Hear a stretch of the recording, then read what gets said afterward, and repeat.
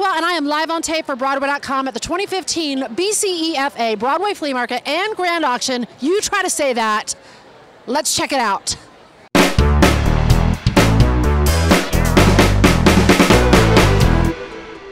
For the people that can't be here today, just use your words to describe the sights and the smells and the feels of the flea market. It's it's an incredibly unique experience where the people that are obsessed with Broadway the most get to mingle with the other people that are obsessed with Broadway the most. to me, this is the greatest day of the year because it's literally like the gathering of all people like me.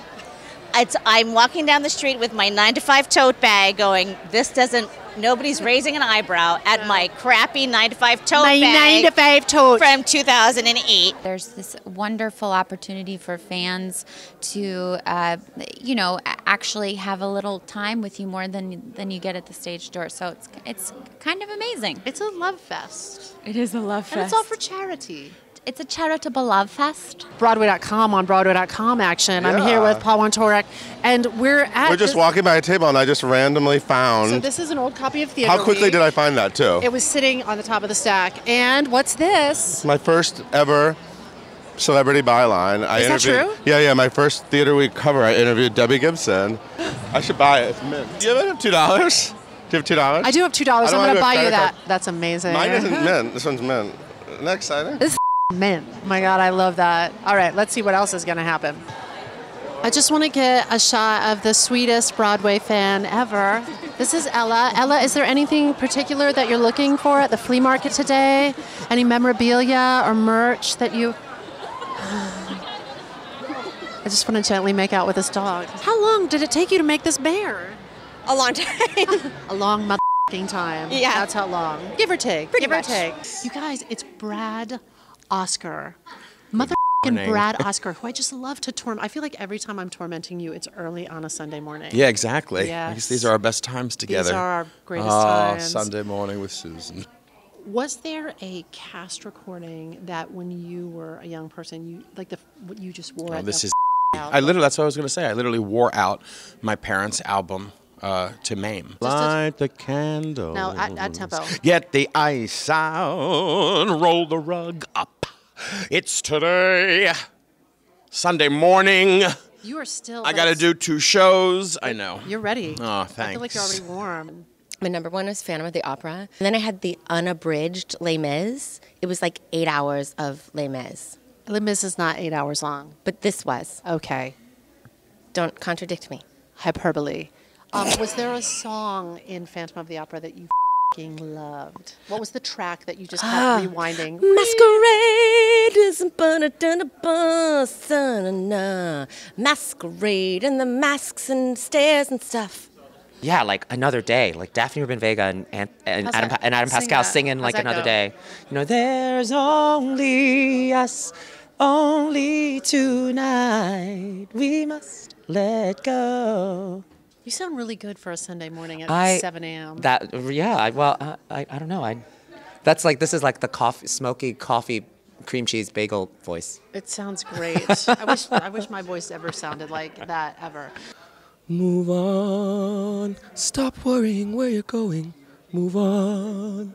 If you can know where you're going, you've gone. Just keep moving on. There you go. When you sing to me, mm-hmm. I feel Tell me like everything. the luckiest person on the planet. Well, when I sit next to you, I feel like the luckiest person on the planet.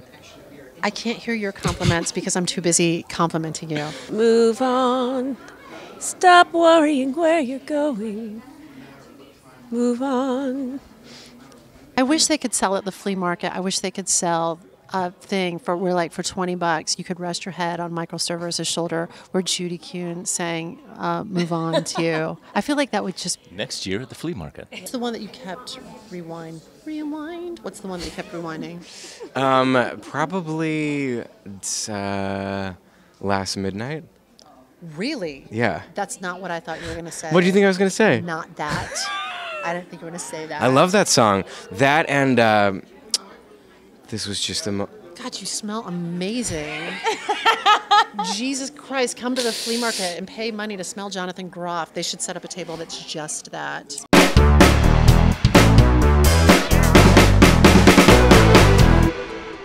Shh. Everybody shut the f- up. We're here with the tiniest, sleepiest Broadway fan ever. Little fan, tell me what your name is. Have you met anybody great today? I have met um, I've met many great people. Anybody that really stands out? Um, not really. Wow. I'm here with Andy Mientus and Michael Arden. But that's correct, right? Mientius. There's a click in it. Mien choose. You have to do that or else. It's African. Yeah, vaguely. What are you doing here? I don't know. I'm actually just his bodyguard for the day to make sure no one attacks him before his big opening tonight. What was the Broadway cast recording that, the first one that rocked your ass and you just played it till the wheels came off?